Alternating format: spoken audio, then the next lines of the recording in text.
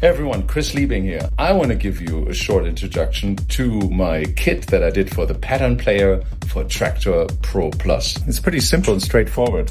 I have a selection of different patterns of claps, closed hi-hats, open hi-hats, rim shots, and of course snares.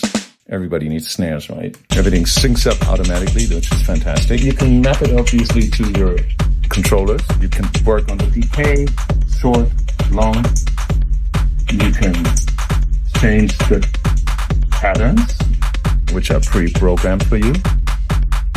And the pitch is really important sometimes, especially with rides. And if you have it really short, you can raise the energy by adding the decay. It's really long, yeah.